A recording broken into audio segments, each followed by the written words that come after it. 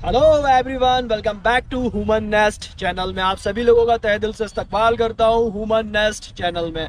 And आज बहुत ही अहम और ख़ास ये ब्लॉग लेकर आया हूँ मैं।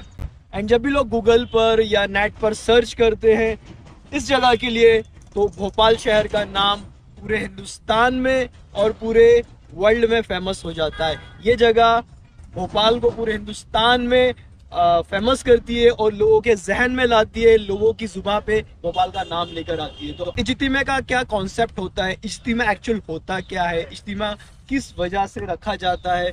और इसकी जो डिटेल्स है, जो इसकी हिस्ट्री है, वो सारी चीज़ें बाकायदा आप लोगों को बताने की और समझाने की कोशिश करूँगा। जितनी भी इंफॉर्मेशन मैं कलेक्ट कर सका हूँ, वो सही सही देने की पूरी कोशिश करूँगा। और इसमें अगर मुझसे कोई भूल चूक हो जाती है तो मैं माफ़ी तलब करूँगा, क्योंकि जितना मैं पता कर सकता था, उतना मैंने पता करा है।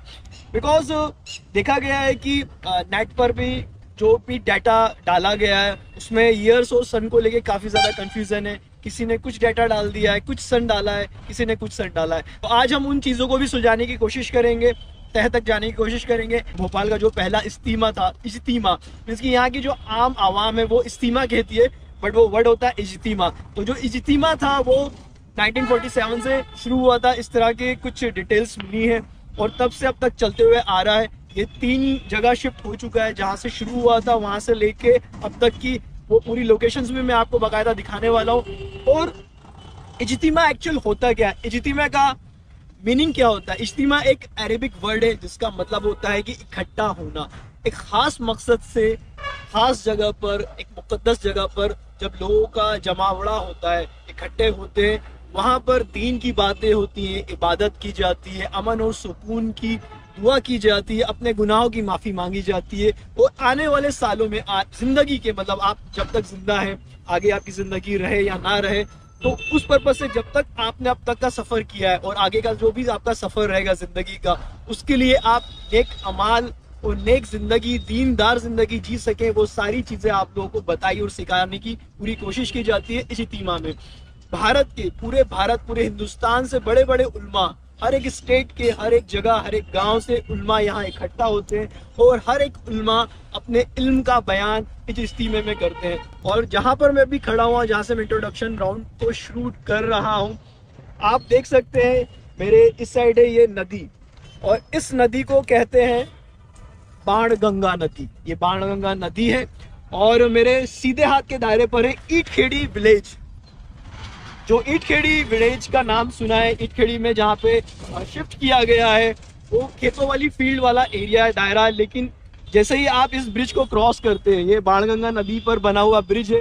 ब्रिज को आप जैसे ही क्रॉस करेंगे तो यहाँ से ईटखेड़ी विलेज, जो प्रॉपर गाँव है, वो स्टार्ट हो जाता है। एंड ब्रिज के उस साइड देखेंगे आप तो ईटखेड़ी थाना है। और उधर फ़ील्ड है तो वो जो पूरा यह सामने का आप दायरा देख रहे हैं, उस दायरे में इज्तिमे का जो कॉन्सेप्ट है, इज्तिमा जो है, वहाँ पर ऑर्गेनाइज किया जाता है। वहाँ पर इज्तिमा की पूरी तैयारी होती है और ये जो पूरा प्रोग्राम है, ये जो पूरा इवेंट है, उस दायरे पे चलता है। तो आइए हम स्टार्ट करते हैं हमारे इस ब्लॉग को।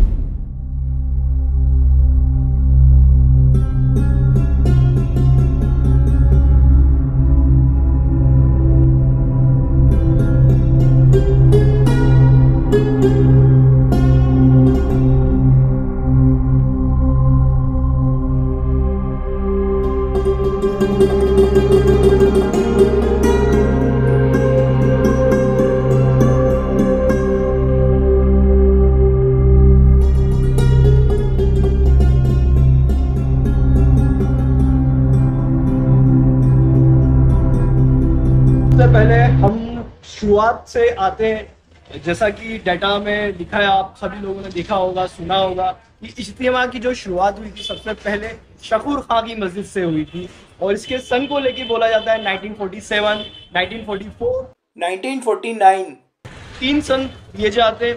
काफ़ी सारे बुज़ुर्गों का कहना है कि 1925 1925 से शुरुआत हुई है बट जो डेटा है बेसिकली 1947 से लोग काउंट करते हैं। तो अभी जहाँ पर मैं मौजूद हूँ, मेरे साइड में आप देख सकते हैं, मस्जिद शकूर खान। और इस मस्जिद के नाम को लेके भी काफ़ी ज़्यादा कंफ्यूजन रहता है। बहुत सारे लोग शकुल खां की मस्जिद कहते तो नाम बहुत मैटर करता है। आप लोग अगर इंफॉर्मेशन डाटा डालते हैं, या कोई भी चीज़ों के लिए अगर आप आर्टिकल देते हैं तो नाम और सन मतलब उस पर थोड़ा सा तवज्जो दिया करिए, क्योंकि ये बहुत मैटर करता है। और आप, अगर आपको सही डाटा पता नहीं होगा, सही डाटा आप तक नहीं पहुंचेगा तो ये इन्फॉर्मेशन करेक्ट नहीं हो पाएगी। तो अभी हम हाल फ़िलहाल में मौजूद है शकू खान की मस्जिद, और यहाँ से 1947 में इज्तिमा की शुरुआत हुई थी, जिसमें कहा जाता है कि 14 से 13 लोगों की जमात थी। और जो शुरुआती दौर था, जहाँ से भोपाल के अंदर फ़र्स्ट इज्तिमा किया गया था, उसी मस्जिद के जगह पर मैं खड़ा हुआ हूँ। और ये जो एरिया है बेसिकली जैसा कि आप देख सकते हैं जैन कॉम्प्लेक्स है और कोतवाली रोड कहलाता है ये। ओल्ड सिटी का पार्ट है। माशाल्लाह काफ़ी खूबसूरत मस्जिद है। अभी ज़्यादा कंजस्टेड हो चुका है। बट जब इस मस्जिद की नींव रखी गई थी, मस्जिद को बनाया गया होगा तो उस वक्त में इतना ज़्यादा यहाँ पे कंजस्टेड नहीं होगा। इतना ज़्यादा हॉश पॉश एरिया नहीं होगा। लेकिन वक्त के हिसाब से चीज़ें डेवलप होती जाती हैं। तो अब चलते हैं हम। 1947 के बाद पहला इज्तिमा यहाँ पर मुकम्मल हुआ। उसके बाद जो नेक्स्ट शिफ्ट किया गया, उस जगह पर मैं आप लोग को लेकर चलूँ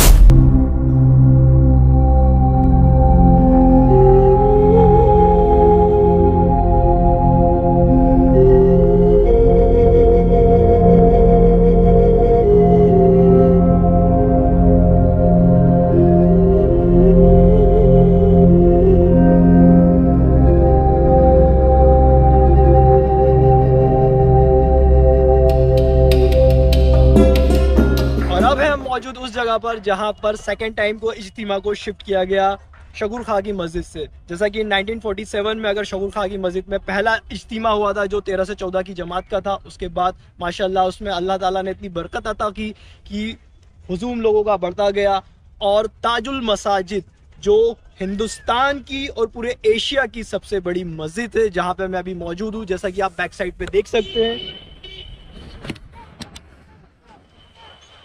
यहाँ पर इजतिमा को शिफ्ट किया गया। एंड uh, इसके सन को लेके भी काफ़ी सारा डाटा नेट uh, पर डला हुआ है। जैसा कि अगर 1947 पर uh, जब पहला शकूर खां की मस्जिद में इज्तिमा हुआ था तो सेकंड 1948 से यहाँ पर शिफ्ट किया गया। एंड अगर मानते हैं कि 49 में फ़र्स्ट इज्तिमा हुआ था तो 1950 का डाटा डाला हुआ है। और कुछ लोगों का मानना यह है कि 1971 से यहाँ पर इज्तिमा को शिफ्ट किया गया था। बहरहाल काफ़ी सारे लोगों से बात की तो उन्होंने बताया, कुछ लोगों ने बताया कि शुरुआत से ही इज्तिमा ताजुल मसाजिद के अंदर ही मुकम्मल हुआ है।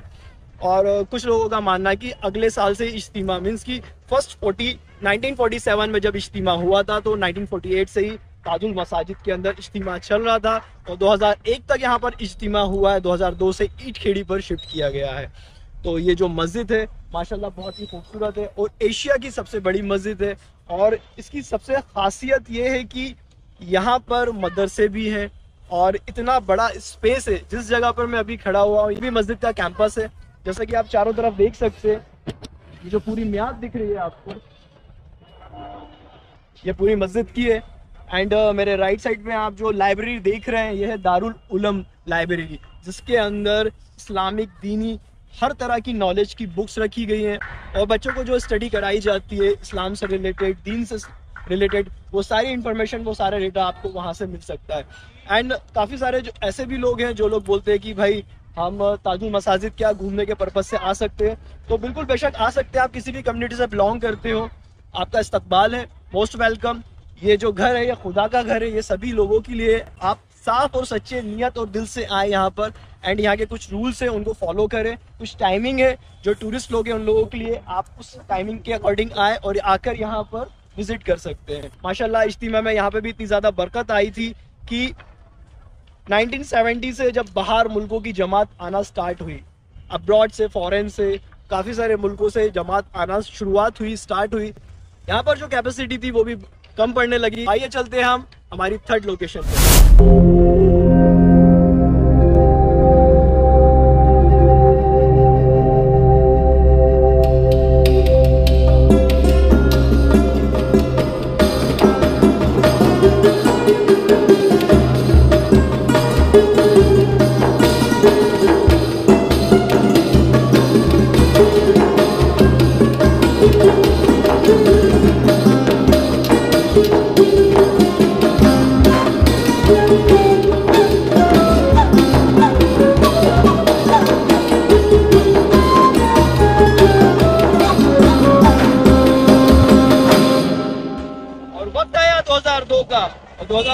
वक्त से इजतिमा को ईट खेड़ी में शिफ्ट कर दिया गया। जैसे कि आप देख सकते हैं बैक साइड में तकबाल गेट नंबर वन ऐसे gate number one gate number two gate number three तीन इंट्रेंस गेट बनाए गए हैं। काफ़ी बड़े हूज साथ ही साथ यहाँ पे 64 या 68 समथिंग पार्किंग डिसाइड की गई है। तो काफ़ी बड़े फ़ील्ड पर मीन्स की जैसा कि तकरीबन 500 एकड़ की ज़मीन को यूज़ किया गया है, जिसमें से 300 जगह है में 300 एकड़ में और 200 एकड़ में पार्किंग और दूसरी जो एक्टिविटीज़ होती है वो सारी चीज़ें तो हम आ चुके हैं ईट खेड़ी पर, जहाँ पर 2002 से इस्तीमा को शिफ्ट किया गया था।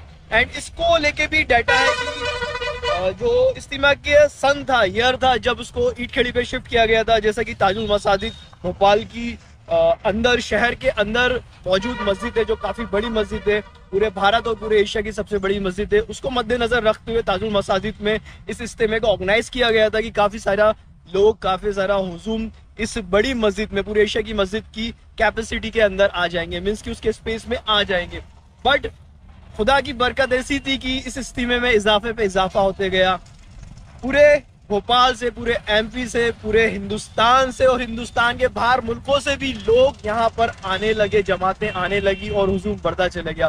तो उन सारी चीज़ों को मद्देनजर रखते हुए इस इज्तिमे को 2002 में ईद खेड़ी में शिफ्ट कर दिया गया। एंड जो मैंने आप लोगों को बताया कि इसके लिए जो ईयर से डाटा मौजूद है जैसा कि अगर आप गूगल करेंगे सर्च करेंगे तो 2002, 2001, 2003, 2005 और हद तब हो जाती है जब किसी ने ये लिख दे 2017 बट बातचीत और मालूम करने के तौर पर पता चला है कि ये 2002 के सन में ईयर में यहाँ पर शिफ्ट किया गया था This video is sponsored by Pakiza Realty Group. Pakiza Realty offers premium plots in New Koifiza colony, just 9 kilometers from the Istima location in Bhopal city.